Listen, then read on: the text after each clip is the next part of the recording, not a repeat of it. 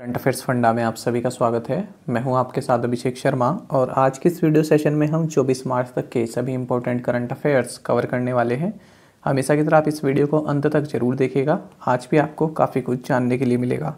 साथ ही इस, इस सेशन को शुरू करने से पहले आप सभी को बताना चाहूँगा यदि आप हमारे daily current affairs P weekly PDF और मंथली पीडीएफ चाहते हैं तो इस वीडियो के फ़र्स्ट कमेंट में या फिर डिस्क्रिप्शन में दिए गए लिंक पर क्लिक करके पा सकते हैं। साथ ही गूगल प्ले स्टोर से आप करंट अफेयर्स फंड ऐप को भी इंस्टॉल कर लीजिए, क्योंकि जो भी हमारा करंट अफेयर्स मटेरियल है, जो हम आपको पीडीएफ फॉर्मेट में प्रोवाइड कराते हैं, ये सभी मटेरियल आपको हमारी करंट अफेयर्स फंड ऐप पर ही उपलब्ध हो पाएगा। इसके लिए यदि आप हमारा पीडीएफ कोर्स बाय करना चाहते हैं तो लिंक आपको डिस्क्रिप्शन में मिल जाएगा। कोई भी अगर आपका डाउट हो हमारे पीडीएफ कोर्स से संबंधित तो कमेंट बॉक्स में ज़रूर लिखिएगा। तो चलिए फिर करते हैं शुरुआत इस वीडियो सेशन की। सबसे पहले 23 मार्च को पढ़े गए करंट अफेयर्स क्विकली रिवाइज कर लेते हैं। इंडिया का first post office cafe Kolkata West Bengal में ओपन हुआ। वर्ल्ड मेट्रोलॉजिकल डे ये हर साल 23 मार्च को मनाया जाता है और साल 2022 में इसका थीम रहा है early warning and early action H bank ने ऑटो लोन्स को फुली ऑटोमेटेड करने के लिए एक एप्लीकेशन लॉन्च की है, जिसका नाम है ऑटो फ़र्स्ट। एक एमओयू साइन किया गया है इंडिया और नेपाल के बीच में, जिसमें इंडिया, नेपाल को एलपीजी गैस स्टोव्स और गैस सिलेंडर्स प्रोवाइड कराएगा। इंडिया और सिसेल्स के बीच मिलिट्री एक्सरसाइज होती है एक, लामित के। तो इसका नाइन्थ एडिशन स्टार्ट हुआ है। रिज़र्व बैंक ऑफ़ इंडिया ने Kanpur based people's cooperative bank limited इसका लाइसेंस रद्द कर दिया है। आपको जानना चाहिए, गवर्नमेंट ऑफ़ इंडिया ने स्टार्टअप्स के लिए जो डेट इन्वेस्टमेंट है, उसको इक्विटी शेयर्स में बदलने का जो टाइम पीरियड है, उसको बढ़ाकर 10 साल कर दिया है। पहले ये पीरियड पाँच साल था। आपको जानना चाहिए, कॉन्फेडरेशन ऑफ़ इंडियन इंडस्ट्री यानी कि CII इसने आईआईटी कानपुर के साथ मिलकर फ़र्स्ट ऑफ़ इट्स काइंड, यानी कि अपनी तरह का पहला रिस्क सर्विलेंस सेंटर लॉन्च किया है। कोची पुलिस ने एक यूनिक कैंपेन स्टार्ट किया जिसका नाम है claim your public place. Pushkar Singh Dhami फिर से उत्तराखंड के चीफ मिनिस्टर बनाए गए हैं।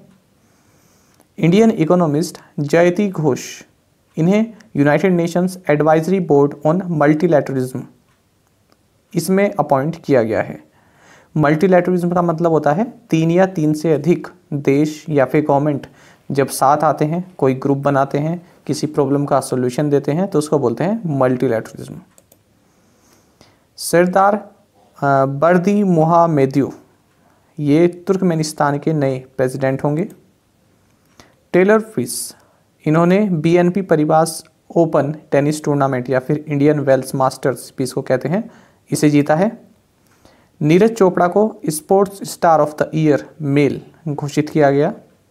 वर्ल्ड पपेट्री डे ये 21 मार्च को सेलिब्रेट किया जाता है। चलिए अब देखते हैं 24 मार्च तक के सभी important current affairs what is the theme for the world tuberculosis day 2022 जो कि मार्च 24 को मनाया जाता है? तो पूछ रहे हैं कि विश्व क्षय रोग दिवस 2022 के लिए विषय क्या है? इसका थीम क्या है? काफ़ी महत्वपूर्ण क्वेश्चन है और सही आंसर ऑप्शन डी है। Invest to end TB save lives देखिए, कई बार एग्ज़ाम में देखा गया है कि वर्ल्ड टीबी डे या ट्यूबरकुलोसिस डे इसका थीम ज़रूर आपसे पूछा जाता है। तो ये आप ज़रूर याद रखिएगा 24 मार्च को मनाया जाता है और आपको बता दें कि 24 मार्च अट्ठारह ट्वेंटी फोर्थ मार्च 1882 को डॉक्टर रॉबर्ट कोच ने ये अनाउंस किया कि इन्होंने उस एजेंट का पता लगा लिया है, जिसके कारण जो टीबी की बीमारी है, ये होती है। और इसका नाम है टीबी बेसिलस आपको जानना चाहिए, इसका थीम जैसे कि मैंने आपको बताया invest to end TB save lives काफ़ी महत्वपूर्ण है।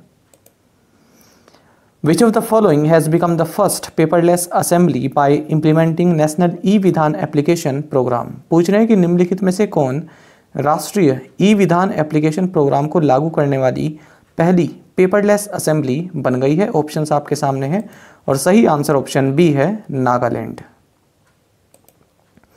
तो देखिए, नागालैंड की जो असेंबली है, वो फ़र्स्ट स्टेट असेंबली बन गई है भारत में, जिसने national e Vidhan application programme को इम्प्लीमेंट किया है और इस तरह से ये पेपरलेस बन गई है। अब जो मेंबर्स हैं असेंबली के, वो इलेक्ट्रॉनिक डिवाइसेस का यूज़ करके जो भी हाउस की प्रोसीडिंग्स हैं, कार्रवाई है, उसमें पार्टिसिपेट कर सकते हैं।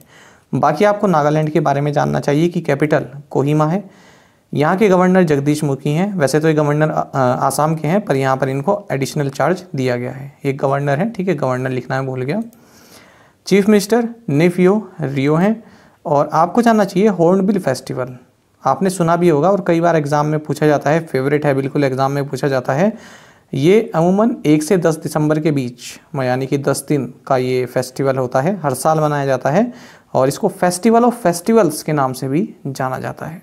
तो किससे संबंधित है हॉर्नबिल फेस्टिवल? नागालैंड से। क्या कहा जाता है इसको? Festival of festivals.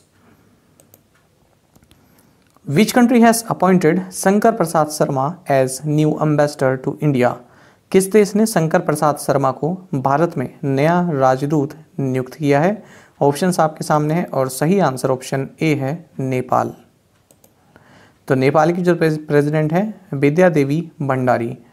इन्होंने इकोनॉमिस्ट और former US envoy doctor Shankar Prasad Sharma को भारत में नया एम्बेसडर घोषित किया है। साथ ही आपको दो बातें और जाननी चाहिए कि नेपाल में भारत के एम्बेसडर हैं विनय मोहन क्वात्रा और दिसंबर के महीने में इंडिया के अम्बेसडर चाइना में जो नियुक्त हैं, इनका नाम है प्रदीप कुमार रावत। तो हाल ही में इन्होंने अपना ये चार्ज संभाला है, इसलिए भी न्यूज़ में रहे। बाकी नेपाल से संबंधित हमने हाल ही में जो न्यूज़ पढ़ी है, उनको देख लेते हैं। तो देखिए, भारत के बाहर नेपाल पहली ऐसी कंट्री बन गया है, जिसने यूपीआई पेमेंट सिस्टम को एडॉप्ट किया है।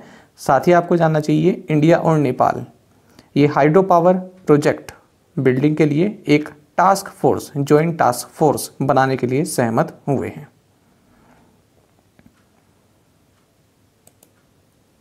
India's largest reclining statue of Lord Buddha is being built in पूछ रहे हैं कि भारत में भगवान बुद्ध की सबसे बड़ी झुकी हुई मूर्ति का निर्माण कहाँ किया जा रहा है? ऑप्शन आपके सामने हैं। सही आंसर ऑप्शन सी है बोध गया जानेंगे इसके बारे में। तो देखिए, इंडिया का लार्जेस्ट रिक्लाइनिंग स्टैचू जो कि भगवान बुद्ध का है, ये बोध गया बिहार में अंडर कंस्ट्रक्शन है। और किसके द्वारा बनाया जा रहा है? बुद्धा इंटरनेशनल वेलफेयर मिशन के द्वारा। मेज़रमेंट की बात करें तो 100 फीट लॉन्ग है 30 फीट इसकी हाइट है। और फरवरी 2023 तक ये जो श्रद्धालु हैं, उनके लिए ओपन हो जाएगा। विज़िट करने के लिए ओपन हो जाएगा। आपको जानना चाहिए, भगवान बुद्ध जो हैं, ये बुद्धिज़्म में काफ़ी इम्पोर्टेंस रखते हैं, महत्वता रखते हैं जो जो बुद्धिज़्म, जो रिलीजन है उसमें। और ये इसमें आप देखेंगे कि जो ये स्टैचू बन रहा है, इसमें लॉर्ड बुद्धा ये महापरिनिर ये महापरिनिर्वाणा मुद्रा में जो है, लेटे हुए हैं। इसी मुद्रा में लॉर्ड बुद्धा ने अपने जो डिसिपल्स हैं, जो अनुयायी हैं, उनको प्रीच किया था, उन्हें संबोधित किया था। आपको बता दें, ये एक फाइबर ग्लास से बन रहा है, ये जो आइडल बन रहा है पूरा, और इसको कोलकाता से जो स्कल्प्टर हैं, उनके द्वारा बनाया जा रहा है। बोधगया के बारे में आपको जानना चाहिए एक रिलीजियस साइट है, और महाबोधि टेंपल कॉम्प्लेक्स जो है, यहीं पर है, और ये गया डिस्ट्रिक्ट, जो कि बिहार में है, यहाँ पर मौजूद है। आपको जानना चाहिए, ये वही प्लेस है, जहाँ पर गौतम बुद्ध को एनलाइटमेंट अटेन हुआ था बोधि ट्री के नीचे बैठकर और साथ ही आपको जानना चाहिए कि बुद्धिस्ट के लिए चार प्रमुख साइट्स हैं, जो बौद्ध से संबंधित हैं। उनमें से एक बोध गया भी है। बाकी की तीन हैं, कुशीनगर, लुम्बिनी और सारनाथ। आपको जानना चाहिए, साल 2002 में महाबोधि टेंपल कॉम्प्लेक्स, जो कि बोध गया में जिसके बारे में हमने भी देखा, इसे यूनेस्को वर्ल्ड हेरिटेज साइट का दर्जा भी दिया गया। तो ये सभी जानकारी आपके लिए महत्वपूर्ण है। आगे बढ़ेंगे। Which credit rating agency downgraded India's growth forecast for fiscal year 23 to 8.5 percent पूछ रहे कि किस क्रेडिट रेटिंग एजेंसी ने फ़िज़िकल ईयर 23 के लिए भारत के विकास पूर्वानुमान को घटाकर साढ़े आठ प्रतिशत कर दिया है? सही आंसर ऑप्शन सी है फिच रेटिंग्स तो फिच रेटिंग्स ने 180 बेसिस पॉइंट्स जो है डाउनग्रेड किया है भारत की जीडीपी और ये अब हो गई है 8.5 परसेंट किसके लिए? 2022-23 के लिए। साथ ही जो वर्ल्ड की इन्होंने जो जीडीपी ग्रोथ फोरकास्ट बताई है कैलेंडर ईयर 2022 के लिए, ये इन्होंने 3.5 परसेंट बताई है। और किसमें रिपोर्ट कौन सी जारी की इन्होंने? ग्लोबल इकोनॉमिक आउटलुक बाकी आपको जानना चाहिए, जो ओ e है, यानी कि organisation for economic cooperation and development इसने जो भारत की जीडीपी है कैलेंडर ईयर 22 के लिए, ये 8.1 परसेंट कही है और 2023 के लिए 5.5 परसेंट बताई है। तो ये देखिए चेंज होती रहती है। जब भी आपका एग्ज़ाम हो तो उससे एक हफ़्ते पहले की आप लेटेस्ट ज़रूर पढ़ के जाएँ। ऐसे तो ये बार बार चलती रहती है। बाकी आपको देखना चाहिए, जैसे फिच हमने पढ़ी कि 8.5 है, पहले इन्होंने 10.3 बताई थी। मोडीज़ की आप देख सकते हैं, जो येलो वाली है, ये तो है, पहले क्या बताई थी? और जो ये शायद ग्रीन कलर है, ये है मतलब जो इन्होंने अब बताई है। तो मूडीज़ की देखें तो पहले 9.5 थी, अब 9.1 हो गई है। एस एंड पी की देखें तो पहले 7.8 थी, अब भी 7.8 है। मॉर्गन स्टैनली की देखें तो पहले 8.4 थी, अब 7.9 कर दिया है। सिटी ग्रुप की देखें तो पहले 8.3 थी, अब 8 कर दिया है। इसी तरह से आपको जानना चाहिए जो क्रेसिल है, इसने भी दो हज़ार के लिए जो भारत की जी टी फोरकास्ट है, इसको सेवन पॉइंट एट परसेंट बताया है।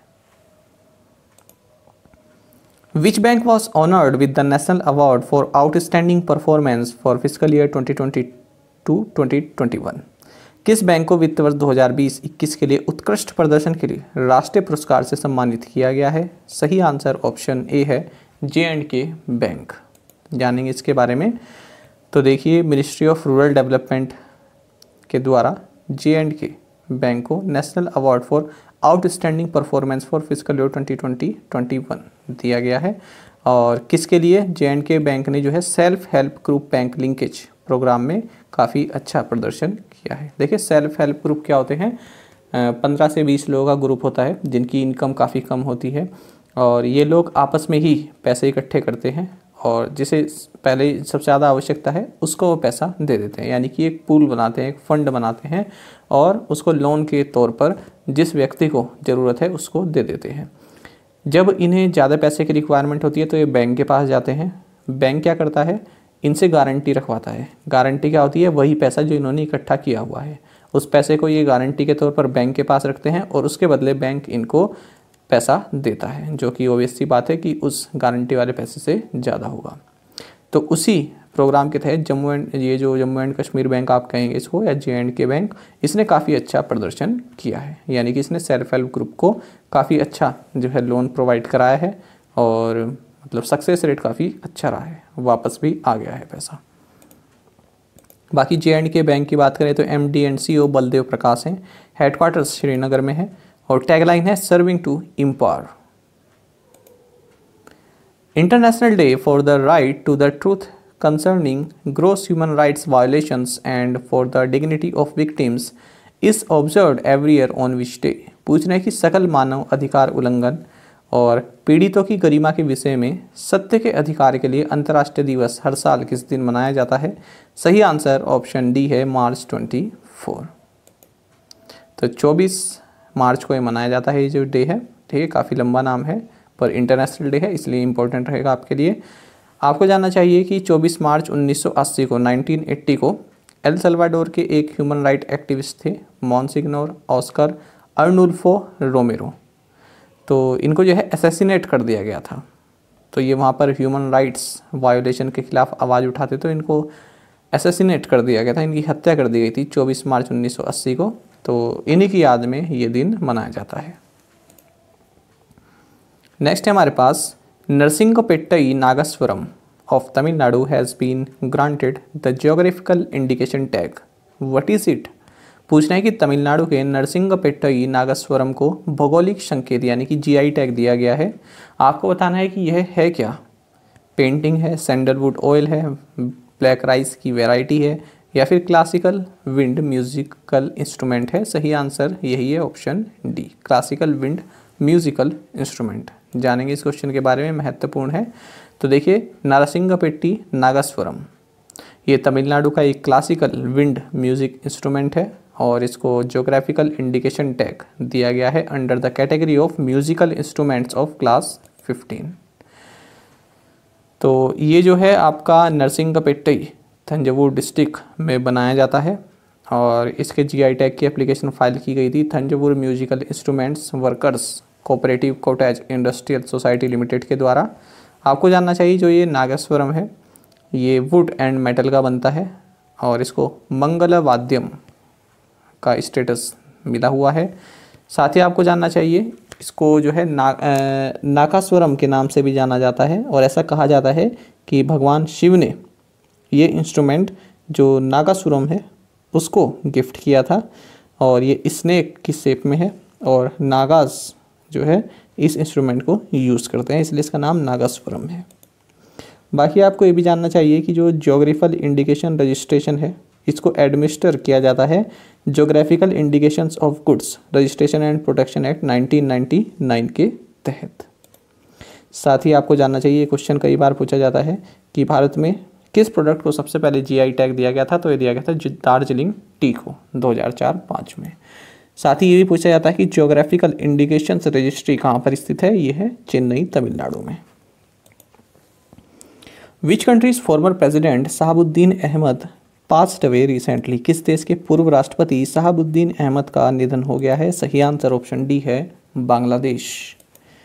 तो बांग्लादेश के प्रेसिडेंट रहे ये 1996 से 2001 और चीफ जस्टिस भी रहे हैं। तो इनका बयानवे साल की उम्र में निधन हो गया है। नाम है Shahabuddin Ahmed fintech unicorn pay has acquired of has acquired IZealiant technologies who is the C of pay तो फिनटेक यूनिकॉर्न पे ने आइजेलियंट टेक्नोलॉजीज़ का अधिग्रहण कर लिया है। आपको बताना है पे के सीईओ कौन है? सही आंसर ऑप्शन ए है हर्षिल माथुर।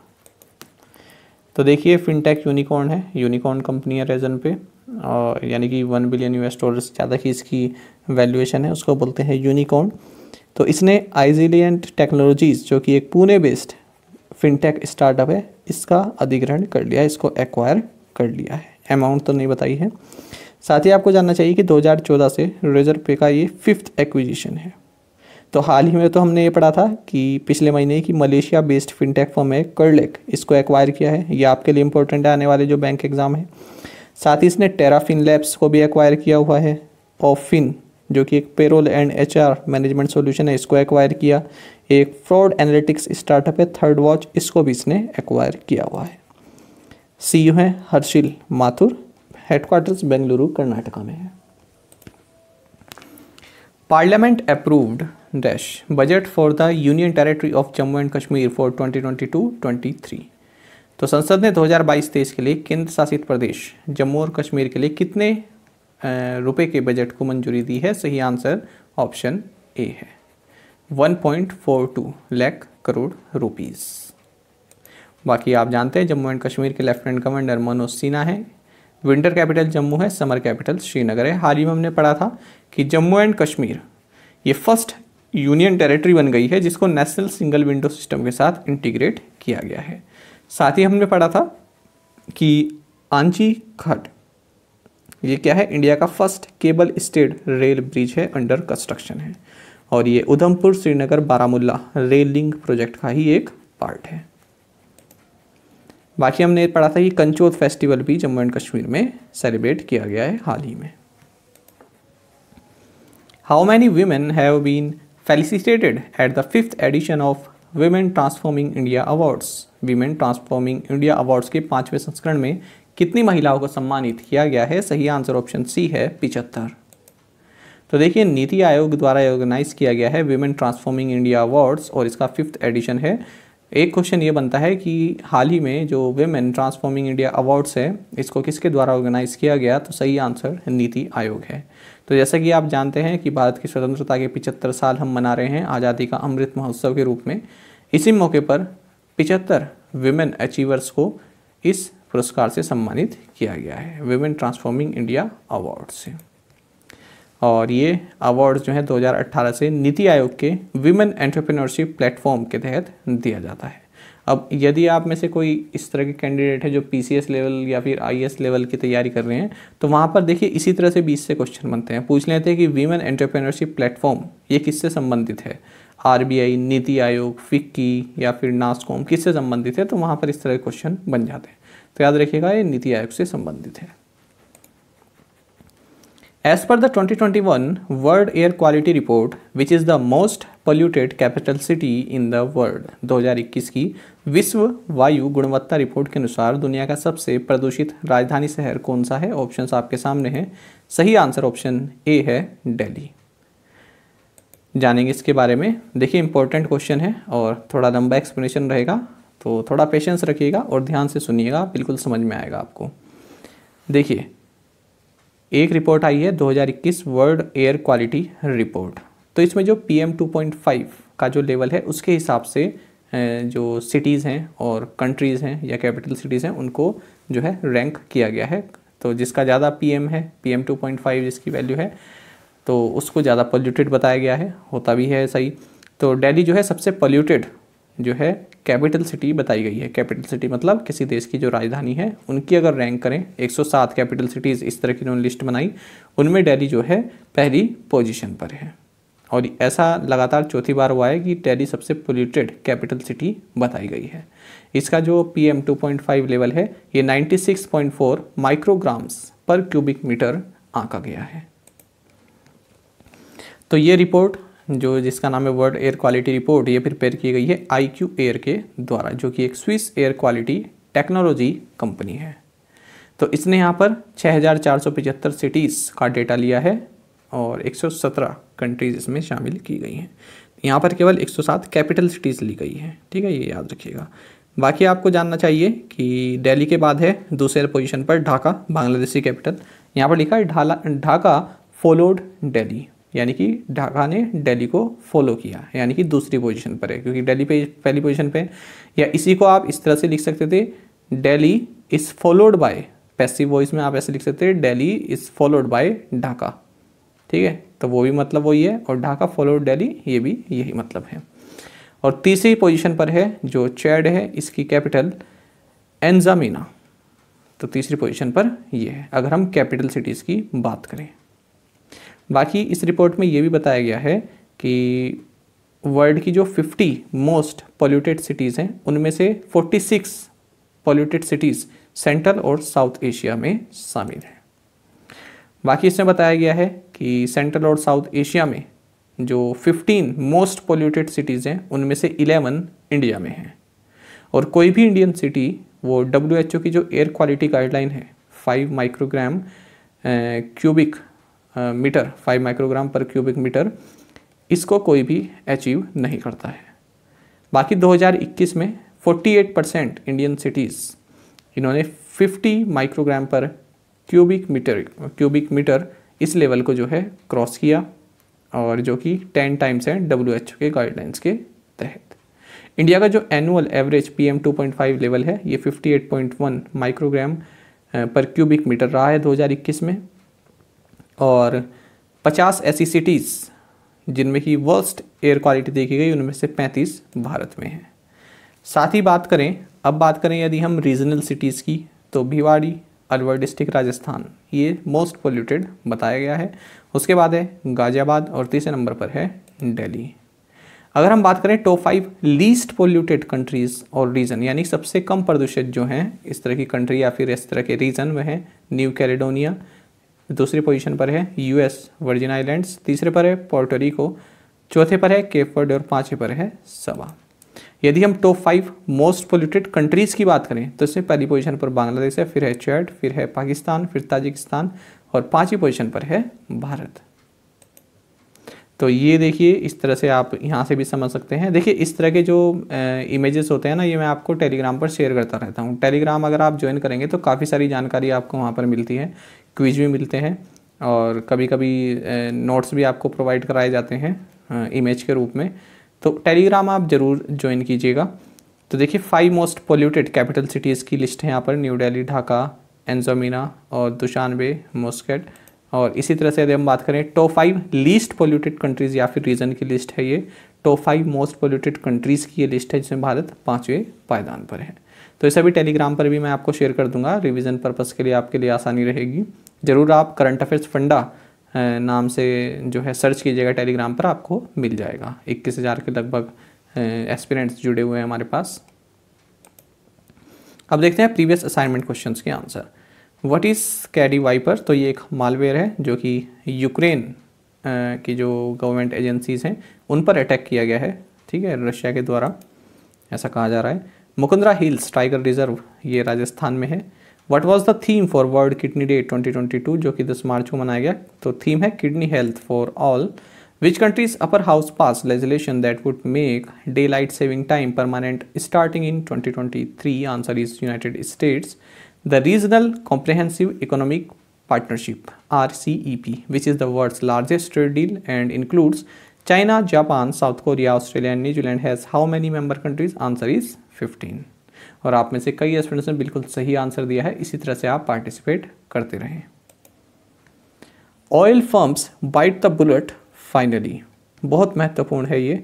और आपके एसएससी हो गया बैंक हो गया, किसी भी तरह का एग्ज़ाम है, उसमें कहीं ना कहीं यूज़ हो ही जाता है बाइट द बुलेट तो देखिए, आज का हमारा शब्द है बाइट द बुलेट तो यहाँ पर आप देख रहे हैं एडियम है ये एक, ठीक है बाइट द बुलेट तो आप इसको कह सकते हैं to force yourself to do something unpleasant और डिफ़िकल्ट और to be brave in a difficult situation यानी कि बहुत ऐसा अनप्लीजेंट या फिर डिफ़िकल्ट काम है, लेकिन आप फोर्स हैं, आपको करना पड़ रहा है, आपकी मजबूरी है तो उसको बोलते हैं बाइट द बुलेट तो यहाँ पर देखिए oil firms bite the bullet finally आखिरकार ऑयल फम्प्स ने वो डिफ़िकल्ट काम कर ही दिया, वो अनप्लीजेंट जो है निर्णय ले ही लिया क्या निर्णय लिया?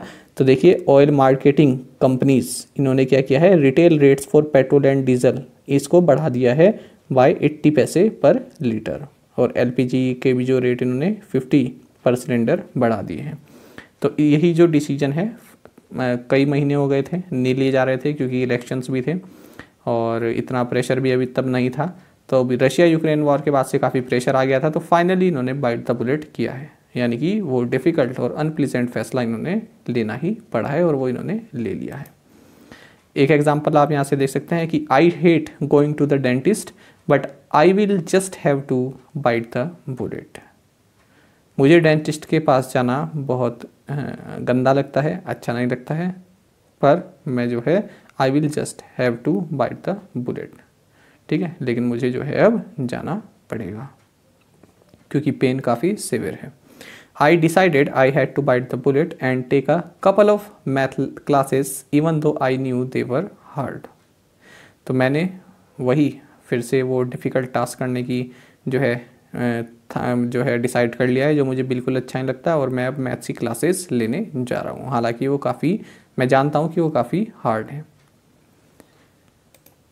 अब देखते हैं आज के असाइनमेंट क्वेश्चंस फ्रेंड्स एक रिक्वेस्ट है, आप ज़्यादा से ज़्यादा संख्या में पार्टिसिपेट किया कीजिए। केवल पंद्रह सोलह लोग ही अब पार्टिसिपेट कर रहे हैं। तो ध्यान दीजिएगा इस चीज़ पर।